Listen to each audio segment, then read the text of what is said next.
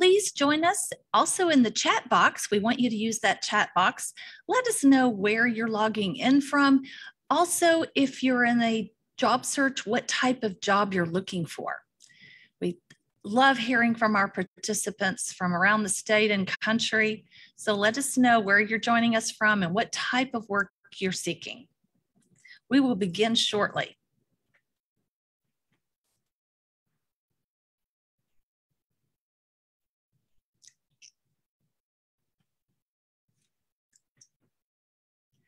Welcome to the Central Kentucky Job Club. Thrilled to have so many people joining us this morning um, from close and far. Again, in that chat box, let us know where you're logging in from and what type of job you're seeking.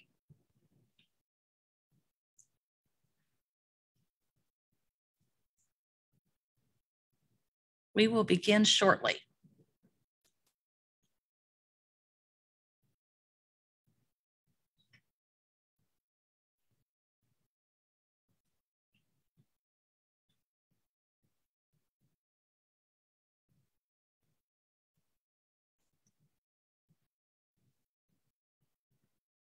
As people are joining us, we will go ahead and begin our opening remarks.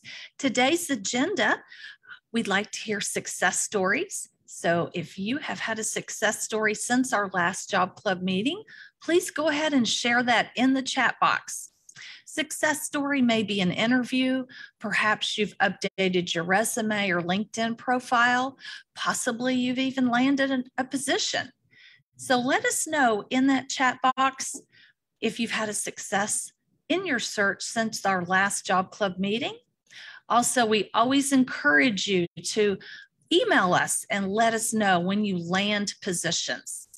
Um, that's a highlight of our week, hearing from job club participants who have landed positions. We love hearing our success stories. Next, we'll have our main speaker, then sharing of active job leads, our partner updates, and then we'll give you a sneak peek at what's coming up next time on Job Club. The mission of Job Club is to provide a positive environment to learn best practices, to network. Uh, there's so many benefits from Job Club, and we're delighted you're with us today. We meet the second and the fourth Tuesday of each month, and you can find our schedule at www.ukalumni.net forward slash job club. We're celebrating our 10th year of Job Club, and we've had over 10,000 participants. So we're thrilled that you're with us today, and we know that you'll have lots of takeaways from today's speaker. Our Job Club facilitation team, I'm Caroline Francis, Director of UK Alumni Career Services. Joining me also today is Diana Doggett, Extension Specialist, Special Projects. Um, we've benefited greatly through the years from Amanda Shagney's support. Um, she's moving on to a new position in a week or so, but we're very grateful and definitely want to give her a shout out for all she's done for Job Club the last several years, especially uh, when we went remote during COVID. She was instrumental. Nicole Waite is with UK Employment, our STEPS contact, and we love having our UK HR partner. Also behind the scenes, we have Lindsay, Christy, Sunny, and Suzanne from UK Alumni Association and Extension that help make Job Club possible. And we so appreciate everything they do. Thank you, team. Job Club is hosted in a hybrid format. So, in person, we always welcome in person attendees here at the Fayette County Cooperative Extension Office. Um, after job club meetings, those that are in person, we spend a little time practicing your 30 second commercial with you, networking and brainstorming on job leads. Zoom format, where we have a chat moderator available. So please use that chat box and ask questions and comment. And Facebook Live. Note that that's view only. So there's no chat moderator or no job lead newsletter for folks that are watching on Facebook Live or the recording. We want you to review our frequently uh, asked questions, articles in our resource packet. Lots of great resources in that resource packet. Uh, you'll see that link in the newsletter that comes out after Job Club or on our website. Also, we highly encourage you to join our LinkedIn group, our Central Kentucky Job Club sharing community on LinkedIn we frequently receive job leads from employers, and there's a quick turnaround. We always try to get those posted on LinkedIn. So, as part of your job search, whether you're actively looking or passively looking for work, make checking that LinkedIn group a regular part of your job search strategy. Wonderful jobs are on there from all over. So, great resource for you to utilize. Employers and recruiters are always welcome to Job Club. In person, if an in person employer is here, they get a one minute spotlight to share an active job lead. Um, we also can have you share remotely by raising your hand later in the program. Then, employers, please email us job leads by noon today and watch your email participants. We send a newsletter out after Job Club this afternoon with job leads that we we have received in the last two weeks that are still active job leads. So watch for that later today. Also, great articles um, that will be in that newsletter. Some attendees are conducting a confidential job search, so please be respectful of the privacy of other job seekers that you may see names in the chat box uh, or recognize. Also, we want to let you know recordings of past Job Club presentations are available in our archives, ukalumni.net forward slash job club. We'd like to welcome our first time attendees. You will receive a short survey after today's meeting that will place you in our notification system so that you will learn about our program in advance each time. Any success stories in the chat box, Lindsay? Okay. Again, we love hearing your success stories. So email those. Let us know when you've landed a new position or had an interview or done something to move forward in your job search. Now it's time for our keynote speaker today. Our guest presenter is Dennis Ritchie. He's the Senior Director of Reentry and Adult Young Adult Services for Goodwill Industries of Kentucky. He's joining us from Louisville today. He's previously he has served as the Reentry Director, Interim Director of Career Services, and as Career Services Manager for Life Lunch, Life Launch, a Department of Labor grant funded program for adults reentering society. In 2019, under Dennis's leadership, Goodwill was awarded the Lucille Hurt Roebuck Commitment to Corrections Award for its efforts in the reentry field. He has been involved in the community as a member of the Greater Louisville Reentry Coalition, Equity Reentry Task Force of Urban Strategies, National Criminal Justice Association, National Reentry Workforce Collaboration, Recovering Houser, Housing Coalition, and chairs the Opportunity Network. So obviously, he is very knowledgeable and dedicated to this field and helping others. Dennis graduated from Bradley University with a BS in finance and from the University of Kentucky College of Law. Before joining Goodwill, he was also a partner in the law firm of Dillingham and Ritchie and was a sole practitioner attorney as well. He specialized in criminal justice. Please help me welcome Dennis Ritchie as our guest presenter today. Welcome. Thank you. Good morning, everybody. Glad to be here and thank you for having me. Um, as was said, I'm Dennis Ritchie, the Senior Director of Reentry for Goodwill Industries of Kentucky. I've been with Goodwill for about um, six and a half years now. And as you heard, I graduated from University of Kentucky Law School. In my previous life, I was a criminal defense attorney, and I have needed a second chance myself. Uh, and I got that through Goodwill. and I'm happy now to be back, giving back um, some of my experiences from a professional and a personal standpoint, and being able to help others um, with a second chance and getting back on their feet. So I'm real passionate about what I do. Um, I hope that shows through to you today um, and in everything I do in my job here at Goodwill. So um, I just want to take a second to offer thoughts and prayers again. We had a hard day in Louisville yesterday, uh, as everybody is aware, um, and a bad day for the Commonwealth in general. The shooting um, at Old National Bank downtown, and then um, almost immediately after that, another shooting on JCTC's campus, which directly affected Goodwill. Uh, and so we had a long day yesterday, and um, thoughts and prayers are with everybody, all the families, and everybody who's been affected by that violence. All right, so what we're going to do today is I'm going to talk to you briefly about the labor market, um, how Goodwill is uniquely positioned to do some of the things we do, um, why we seek out these unmet needs and then try to fill them, and then talk to you in depth about expungements, uh, what they are, uh, why they're needed, how they work, um, and most importantly for this meeting, you know, why expungements I think are one of the solutions to the shortage in the labor force that we're seeing. And then we'll we'll save some time at the end for some questions. If you have anything as we're going, uh, question, let us know. Put it in the chat. I will try to keep up with that. Might need some help on that, but we will try. But definitely give you time at the end. So let's jump right in.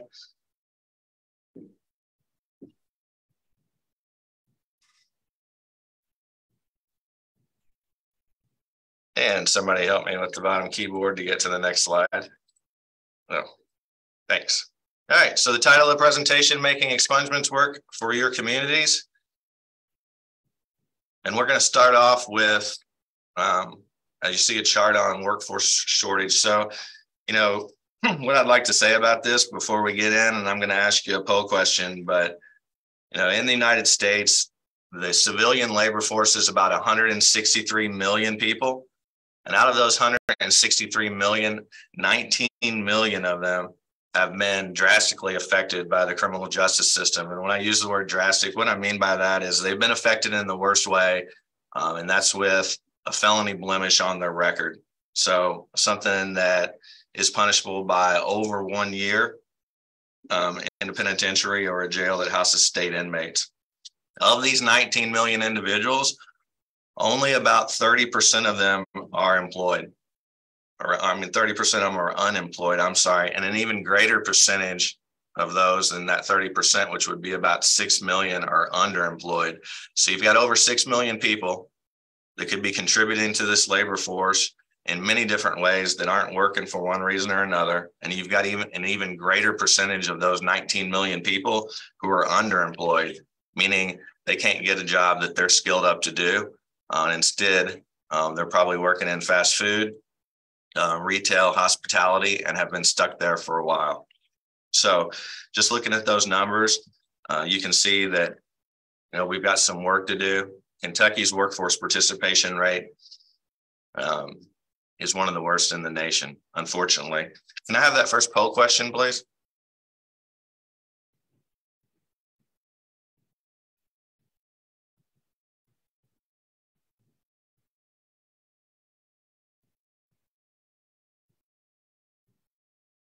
So if somebody pops it up here on the screen, I'm going to read it to you. But the first, there you go. Thank you guys. What's the current labor force participation rate in Kentucky? You guys think it's 82%, 67%, 57%, or 51%?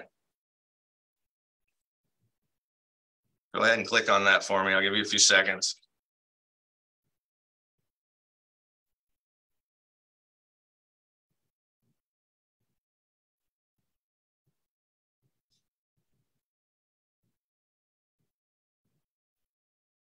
Yeah, so the actual answer to this question is the labor force participation rate in Kentucky is 57%. So it is the lowest that it's been since 2009, uh, which was prior to the Great Recession that we had then. And the pre pandemic, pre COVID level of workforce participation was 59%. So we have not even made it back up to the point where we were pre COVID. Why is that? And I see I've got a knowledgeable audience. Oh, we're close. So the why on that, you know, the causes of this, the retirement boom, childcare issues, which is a really big deal, health, skill gaps, substance abuse disorder, transportation,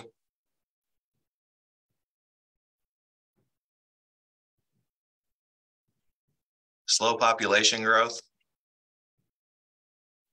COVID, and incarceration and criminal background. And today we're going to focus on incarceration and criminal background. So some some solutions for some of this, and I you know that Kentucky incarcerates um, individuals at one of the highest levels in the country. We are second only to Oklahoma in our rate of female incarceration. And sometimes we trade places with them and we like to be number one in that too. Um, and that's unfortunate. If Kentucky was a country, it would have the 17th highest incarceration rate in the world. So that kind of puts into perspective where we're at and what we've been doing. Some solutions to this that I think that we have been discussing lately um, and we're starting to come around on reforming Kentucky's cash bail system, removing barriers to educational and training opportunities, equipping individuals with government issued IDs uh, when they're released from incarceration, and improving Kentucky's expungement system. So what is expungement? That's what we're going to be talking about. Before we do that, I want to tell you um, a couple things. You know, one, why is Goodwill involved with expungements? So everybody knows Goodwill has the retail stores. We're known for the stores, but we do so much more than that. Oh, 90 cents of every dollar that is spent at those stores goes directly into programming uh, to give individuals a second chance. One of those programs is our expungement program. Goodwill has not only a job readiness um, barrier reduction, supportive services agency for people who need a second chance, but we're also one of the biggest second chance employers in the state. So to explain that to you, I think it's easiest with some data from 2022. We placed 2,740 individuals in Goodwill jobs in 2022 and with external employers. The top 1,200 of those placements had an average wage of 1787 an hour. We're in the top 10 in retail revenue out of 155 Goodwills nationwide. And we accomplished this with over half of our retail managers having come through our programming. So, meaning they also needed a second chance of some sort, and a good majority of those were justice involved. And these managers are making sixty to eighty thousand dollars and sixty to eighty thousand dollars a year, uh, managing these retail stores for us. So, definitely a career path.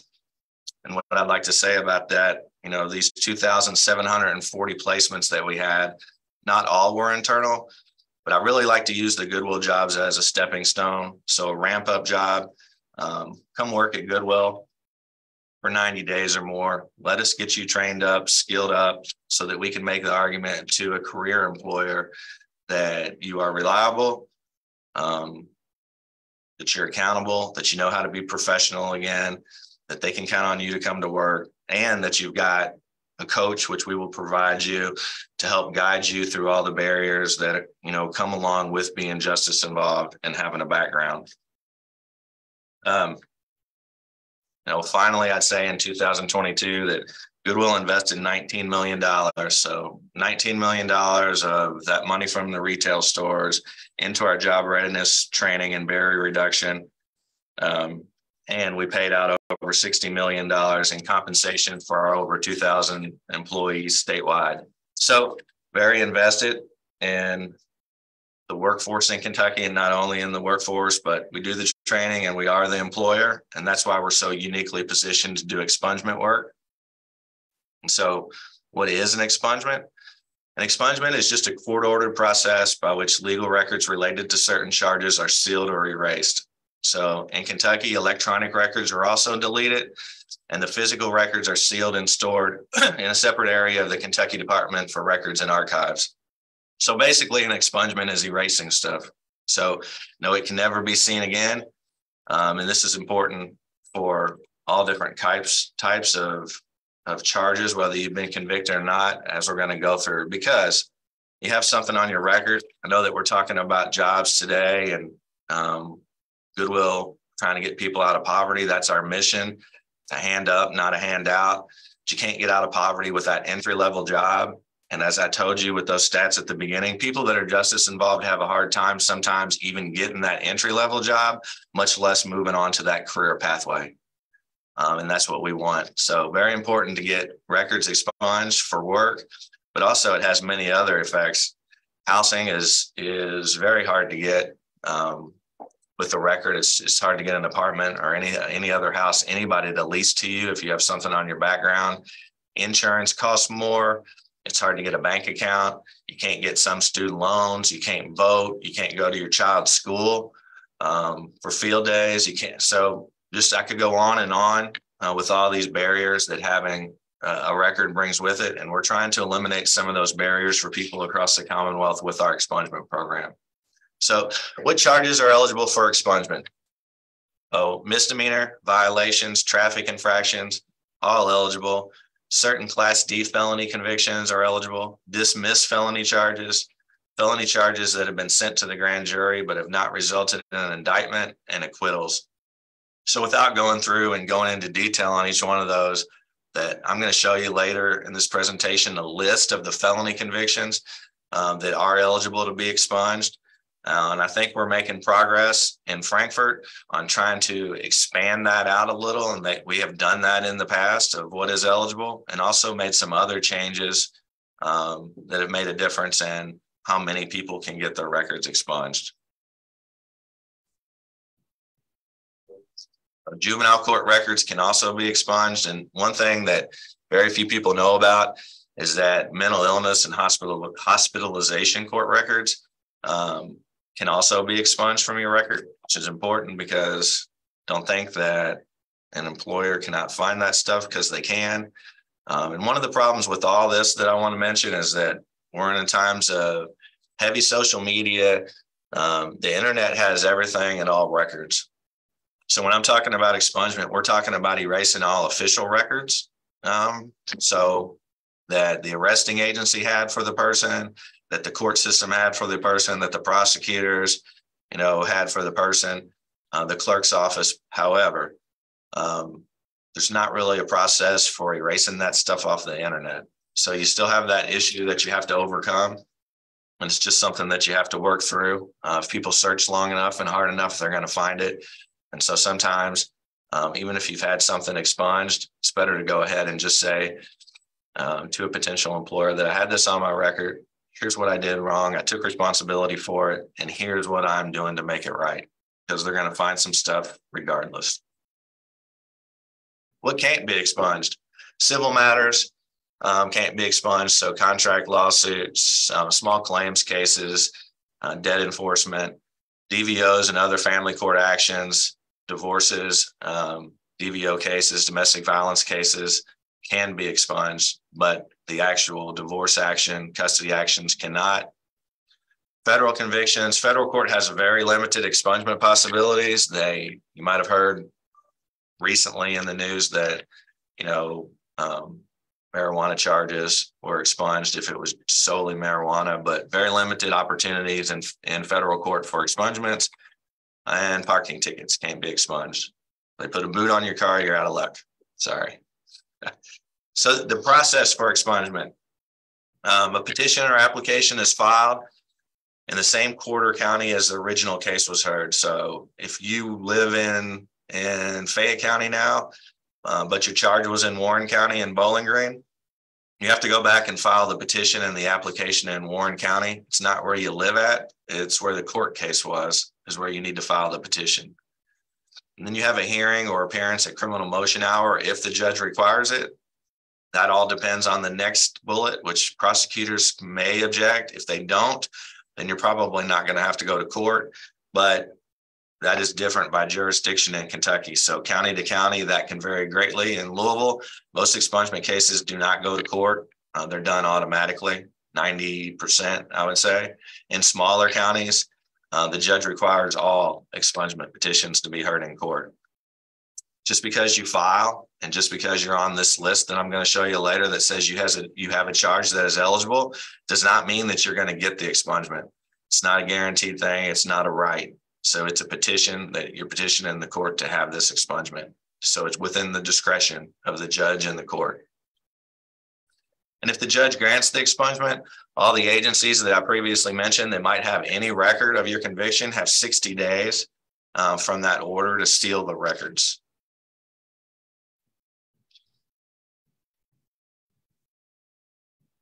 So if you have a misdemeanor, the requirements for getting an expungement, you can't have any pending charges. So you can't get anything expunged off your record if you have something else pending. So if you had a felony, um, and now you have a reckless driving charge, you've got to wait again until that reckless driving charge is five years old, and then you can file for expungement. Uh, five years have to have passed since the completion of the sentence or probation for the conviction the client is trying to expunge. So, in, in not only from the conviction date, but you also have to be off of paper, which is probation, uh, or parole as well to file for the expungement. The offense cannot be a sex offense or a crime against a child and the offense cannot be subject to enhancement or time period for enhancement has to have passed. And most misdemeanors are eligible except those with enhancement periods. And what I'm talking about is, for instance, like a DUI um, has an enhancement period. It's what I mean is it stays on your record longer, on your driving record longer um, than a criminal charge that you'd be able to expunge after five years because DUIs stay on your record for 10. Felony expungement. Felony must fall under A, B, or C, which um, eligible felony violations, KRS, which I'm going to go over. I keep promising that.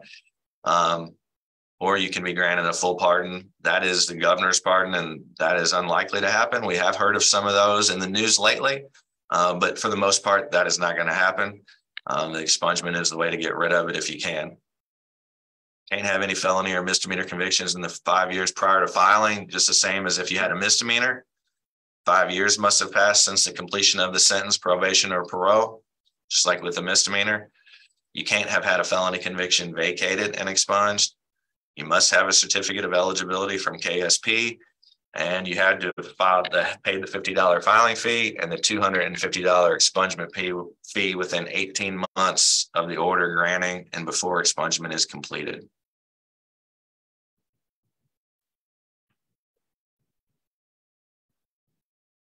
So before I go into this list, can uh, you all put up poll question number three for me, please?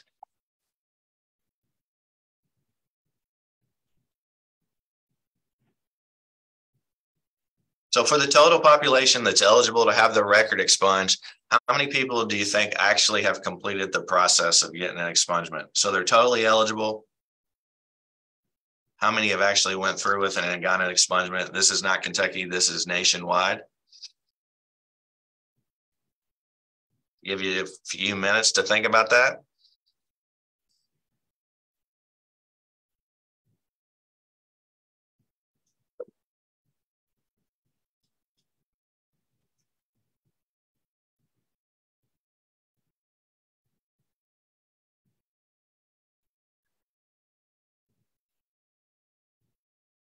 So the answer to that question is actually just 10% D.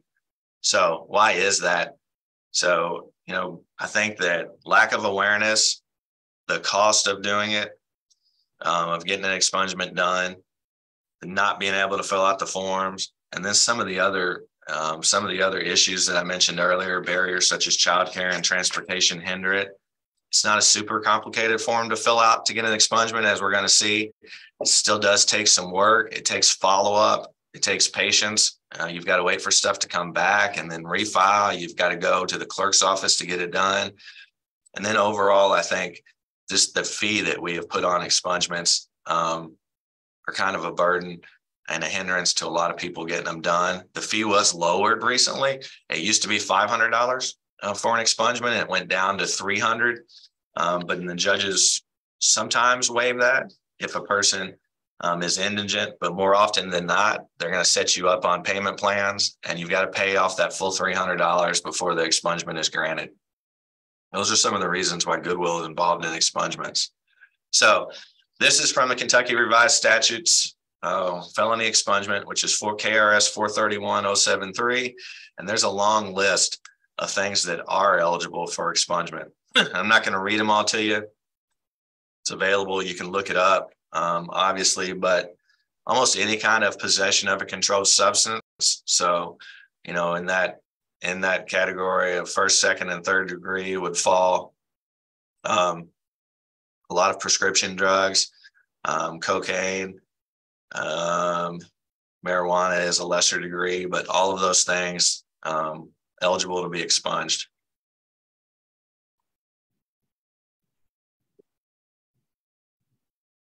Theft charges mostly eligible to be expunged. Um, see marijuana cultivation on there, counterfeiting, unlawful access to a computer, lesser degrees of burglary, theft by unlawful taking, theft by deception, theft of services, theft of labor, receiving stolen property, theft of identity, forgery in the second degree. And then some more on there tampering, um, promoting gambling, non support, and flagrant non support, which has to do with child support, failure to pay child support.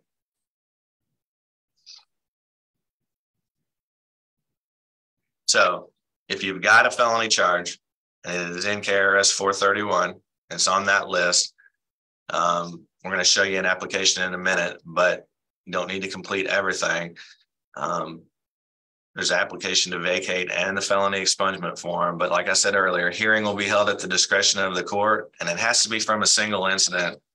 Um, so what I mean by that is, is that if you have multiple felony cases, um, that are at different points in time or even occurred at the same time but are charged as different cases. Right now, the law in Kentucky says you can only get one set of felony charges expunged. There's also something called um, voiding a drug possession charge. So, first offense drug possession can be voided and does not count against your expungement, and you could still get one charge expunged. Um, but only one set of felony charges right now. As many misdemeanors as you want, but only one felony. So if you had a felony case that um, was related to your substance abuse disorder, it's probably going to be theft along with that at some point. If you're charged with possession and theft in the same case number, that whole case can be expunged, so the whole thing would be gone. However, if you get charged with possession of a controlled substance in January, and then in March you get charged with felony theft, only one of those is going to be able to be expunged.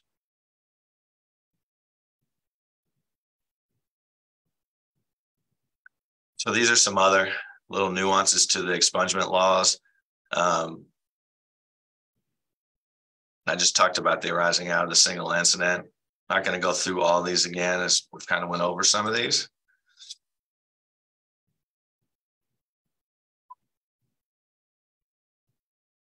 Here's the application. Um, apologize, you guys. My office phone is going off. I'm sorry about that. Application to vacate and expunge a felony conviction. This is what it looks like. This is what everybody has to fill out to get the expungement. Um, and as you see, it's not the most complicated legal form in the world, but if you have no idea what you're doing, um, which most people would not and, and should not have a reason really to know that, then this can be complicated and can be a, a serious barrier to people getting their expungements um, completed. And I'll bring attention to number eight. That was on a couple of the slides before, but um, is not exactly sure why all this is on there, except for if you were going to have a hearing. But you know, some of these questions, I think that they're asking you what you've done to show that you're worthy of getting an expungement. I guess, as I said, it's discretionary, not a right, even if the charge is listed. But if the expungement is granted, how will this make a difference in your life? Is there anything else you would like the court to know as it considers? And so, um, not in favor of question number eight.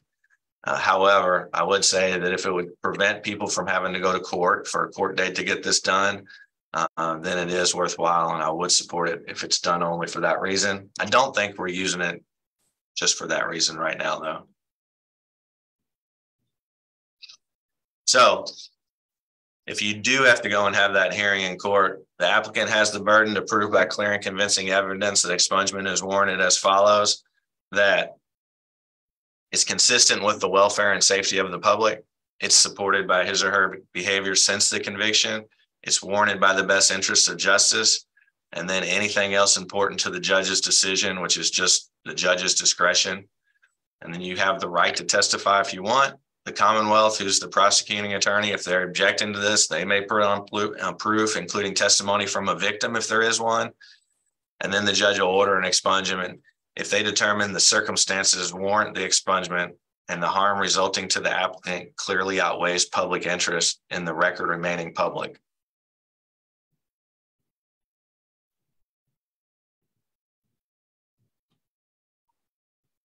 Only one lifetime class D felony can be expunged. Um, as I said, that was the law effective June 27th, 2019, that most class D felony offenses are eligible for expungement. Persons who previously had a felony expungement between July 2016 and June 2019, when this law was changed, may be eligible to have another case expunged. And that's another loophole. That's very limited, only going to affect certain people. Um, but if you had a charge before the law was changed that's eligible, you may be able to do two. Then there's expungement. So dismissals, acquittals, and failures to indict, indict are just kind of a different kind of, of thing that also need to have an expungement for. Why is that? Most people don't realize if you once you get charged with something, it is on your record. So it's on there for good, no matter what the outcome is. Um, if they dismiss the charges, if you go to trial and you win, um, the jury finds you innocent, an employer searching your records is still going to go through and they're going to see that case. Even though it says dismissed, whatever the charge was, they're going to see that charge. So it's important that you remember to go back and file an expungement, um, even for cases that were dismissed. And once they're dismissed, there is no, you don't have, there's no waiting period and there's no time frame on this. You can file it as soon as you want.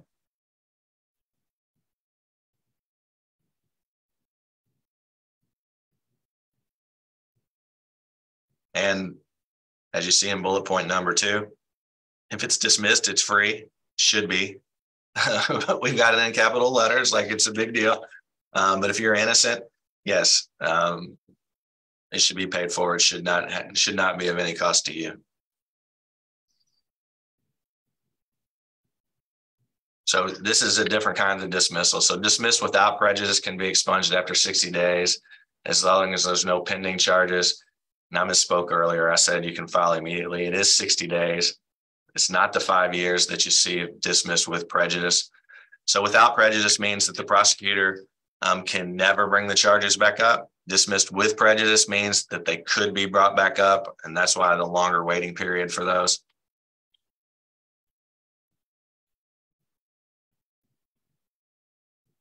Dismissals with, with prejudice be automatically expunged after 30 days, and that's only for new cases. So if you have something before 2020, you still have to file an expungement petition. Misdemeanor dismissals without prejudice eligible after one year, and felony dismissals without prejudice eligible after three years from the date of the dismissal. We talked about acquittal. So acquittal can be at trial. That's just the jury finding you not guilty at a trial.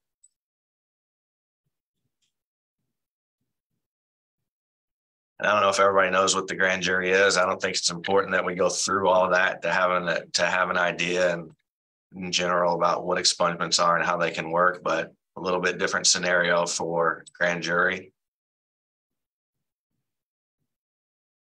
And this is the void and seal that I was talking about earlier. So KRS 218A 275 set up a void and seal. That's for a first time possession of a controlled substance does not count against you for an expungement. So you can void and seal one case and still expunge another, uh, but it's only for uh, first time possession of a controlled substance, possession of marijuana or synthetic drugs.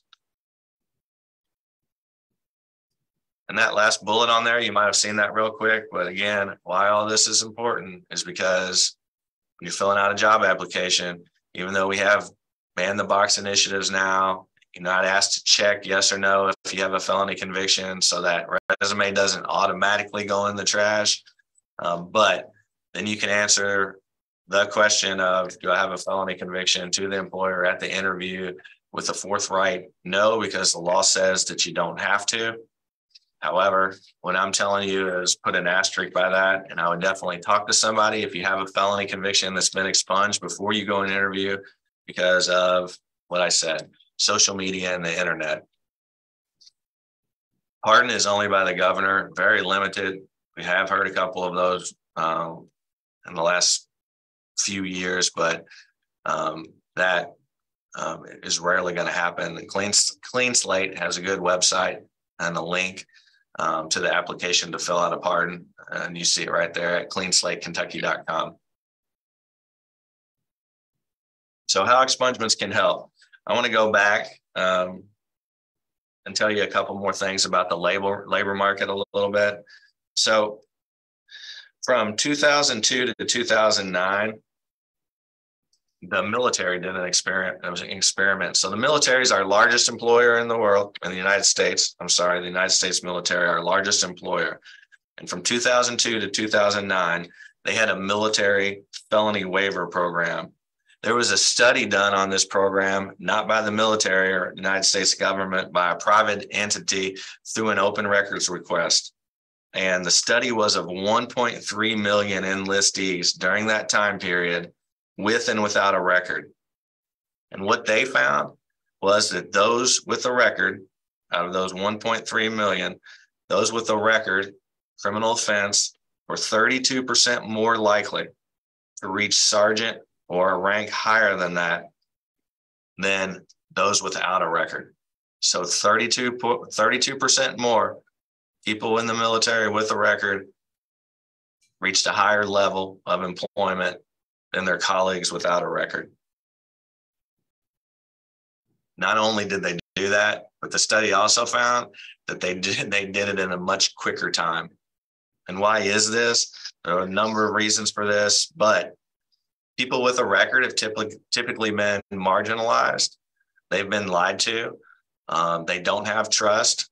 And so when an employer gives them a chance, these individuals can be some of the most loyal and dependable employees that you have, you can build your business around it. And businesses have done that. Um, I can name quite a few. Dave's Killer Bread, DV8 in Lexington is a great example. Greyston Bakery is a great example. Greyston Bakery does not even have a hiring process. You walk into the bakery, you put your name on a list and say, I want a job. When a job comes up, they call you in. Um, and they have people in there to work with you, like a coach at Goodwill and a life coach that guides you through barriers, but that's their whole process. And what have they done? Only um, increased their market share by about 45% since they implemented this process. Uh, and by the way, they are the people that supply those great brownies to Ben and Jerry's, which I love. Uh, one thing that they do, but it's just an example of how changing policies, um, changing the way we think, the stigma uh, that you see in bullet point three, and kind of turning this around and making it work for us and work for the labor force can be so effective. I'm a huge advocate, as I said, very passionate about this work. Uh, and there's just people out there. So you go to these things and people tell you that everybody that's work that wants to work is working. That is not true. Um, nothing could be more false than that. They're not. Uh, and if they are, they're probably underemployed, uh, like I mentioned earlier. And so we need more employers to follow these leads of some of these companies that I've named off. Nehemiah Industries in Cincinnati is another one. Um, and employers can do this um, if they want. Sometimes it, it takes a technical look at their HR policies. Um, but the other thing I would say is that they need to partner with nonprofits and groups who are doing reentry work that can help them to meet the barriers and be ready for the supportive services that individuals with justice involvement will need to make it through their first 90 to 180 days on the job. Um, don't know if anybody's ever went through a reentry simulation, but if you haven't, I recommend that you that you do. Goodwill's going to be having a couple coming up this year, uh, but a reentry simulation runs you through um, all of the issues that a justice involved person has when they first get released from prison, um, trying to meet those barriers and go to work and be productive. But we know that if we can make this stuff work, if we can meet these supportive services for a while and reduce these barriers, transportation, childcare, get IDs, um, you know, take care of uh, appearances that you have with parole, drug tests that you need to take, fines that you have to pay, that if we can get through this period, that this is a labor force that can help solve the shortage that we've got throughout the United States um, and definitely in Kentucky and pick up our workforce participation rate. Because it's it's it's the right it's the right thing to do, which is what I would say. But it's also not a partisan issue. Everybody should believe in this because it it is going to prop up the economy. So more consumer buying is going to occur with this. More taxes are going to be paid in because of this. Um, we're going to have more productive employers. And also another thing is, is that um, expungements, um, people with expungements and then who go to work, even people who don't have an expungement who are justice involved and go to work are less likely to recidivate. Can I have that final poll question, please?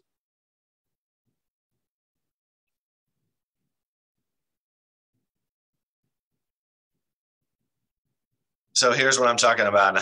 And you already know the answer because I just told you, um, kind of, but people who have had their, their record expunged recidivate, reoffend, recidivate at a much lower rate than average.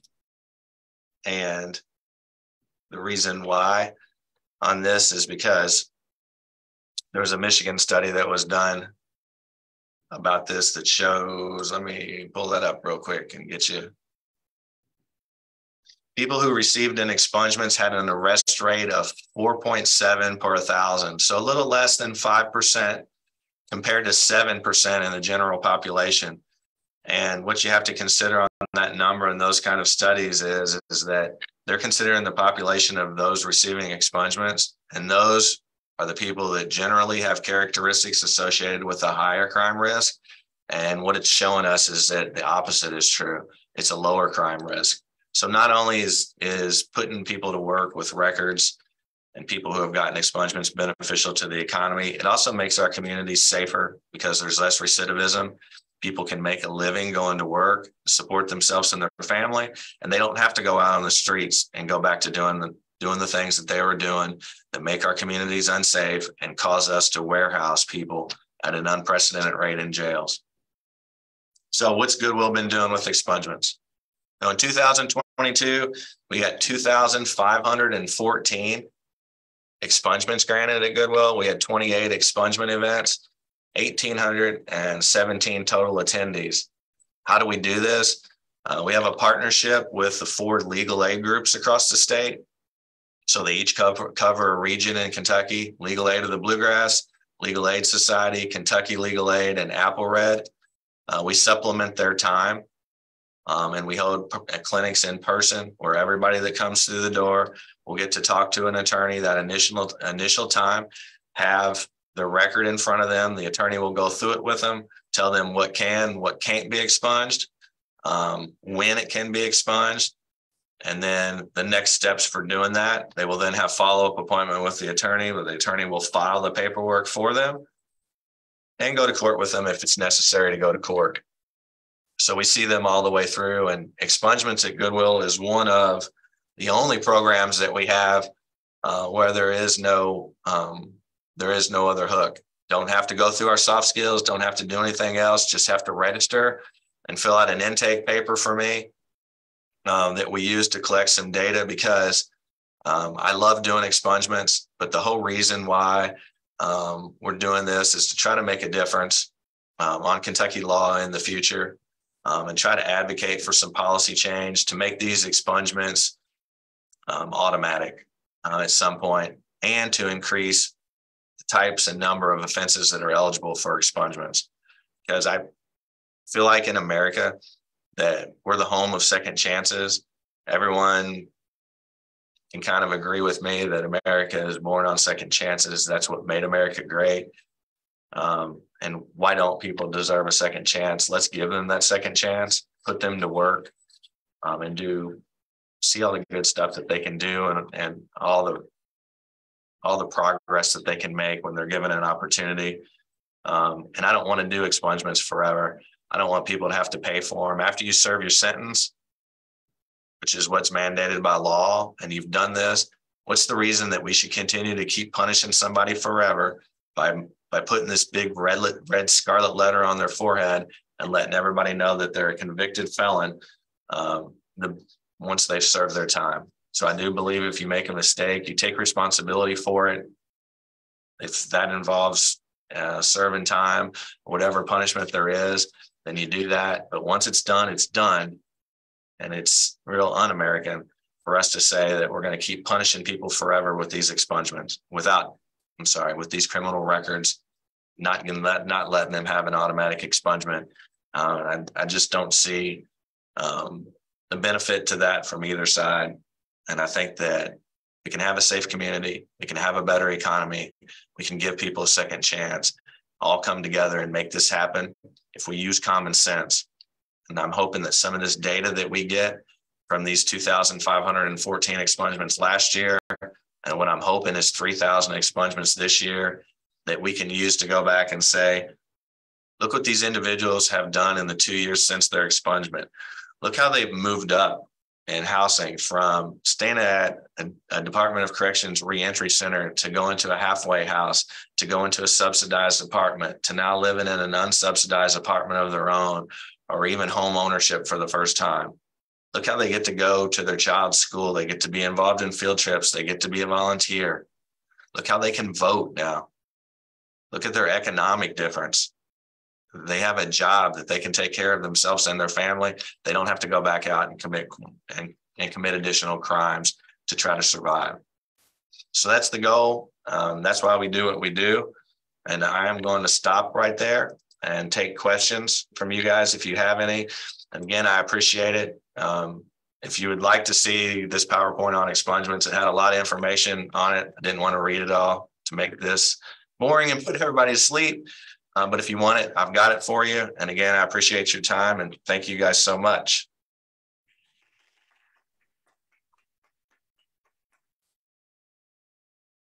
I only see one question. Uh, I see a couple questions in the chat. I'm sorry. Um, how does Goodwill announce their expungements events? So if you go on our website, which is goodwillky.org, there is a link to the expungement page which has um, all the expungements coming up. And there also is a registration link uh, where you can sign up for the next expungement that is in your area. And I missed the one about bankruptcies is yes, bankruptcies do show up. That's a civil um, case that is not expungible, but the bankruptcy time obviously runs out and it kind of falls off like a DUI does. You just can't have it expunged before then.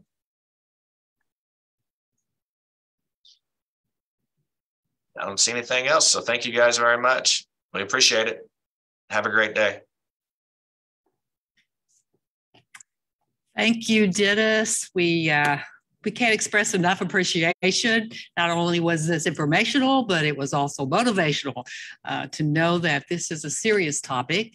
And uh, we have had many requests for uh, advice, information, direction for expungement. So we, are so glad to have this not only presented uh, um, in current time, but we will be able to put this in our archive. So thank you again for such a great presentation. Thank you guys, I appreciate it. So now it's our turn, and uh, we want to allow any employers that might be online to um, offer a job lead if that is uh, in existence. So just raise your hand if you would like that opportunity.